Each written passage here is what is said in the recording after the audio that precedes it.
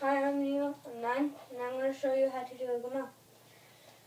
So first, you're going to want to put your foot like right next to the trucks, but you need to put your foot under the board, and then you jump, and then you land. So this is how it looks like. That was it. The first, the second one is when you put your back foot on the tail. And it's the same thing as the first one I showed you, but a little bit harder. So this is how it looks like.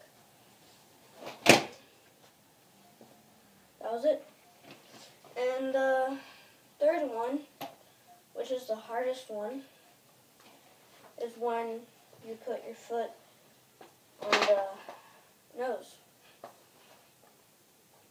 So when you want to learn how to do this trick, you want to learn how to get a lot of bounce. So first, you're going to want to like jump.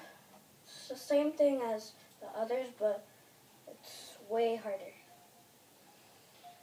So this is how it looks like.